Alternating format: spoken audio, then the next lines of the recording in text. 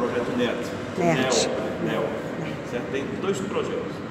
Então, aqui no, no hemisfério sul do nosso planeta, faltava isso. Tem na Austrália, tem na África do Sul e agora tem no Brasil Em Pernambuco. né, em Pernambuco, nesse, obs- nesse observatório. A Rússia está montando um com o pessoal do observatório, Abraão de Moraes também, certo? Tem Onde é esse. Abraão de Moraes? Fica em Vinhedo, Aí, Vinhedo é lá. lá pertinho de Campinas, né, aí, São Paulo. É. aí caso detecte um, aí eles explodem ele, o que eles fazem? Não, não, aí no caso eles acompanham as órbitas desses objetos, porque é o seguinte, impacto com a Terra acontece todo dia. São em média de mil câmera a normal? 7 mil quilos por dia de objeto que vem do espaço. Nossa Senhora. Hum. Acom- Acompanha com a câmera normal. É uma câmera especial, com infravermelho, câmera normal, radares, né? E telescópio desses que tem, ele. Na verdade, a câmera não acompanha, é quando ela É passa no campo de visão da É, câmera. ela passa no campo da câmera. Vocês todos aqui estudam isso? Astronomia. Certo modo, esse rapaz aqui é o que estuda mais. Alguém já, alguém já viu um OVNI? Esse cara é quase diretor de observatório.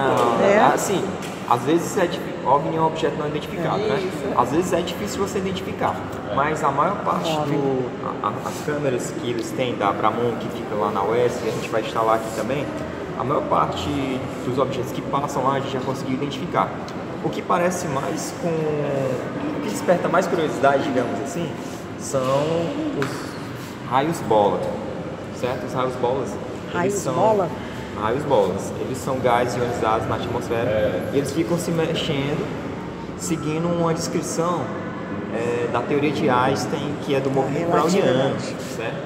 Aí você pensa que tem realmente um, alguém pilotando aquela bola ali, que ele vai retinho, para, né? E depois ele, ó.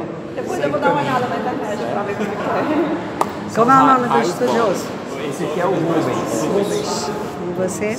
Professor Ednardo. Professor de, Ednardo, certo? de Mas- cosmografia, de Eu sou astronomia? professor de astronomia e astronáutica, legal. tá? E Vocês são da assim, física ou não? eu sou da física, Da física. formado em física. Atualmente fazendo doutorado na engenharia elétrica, pra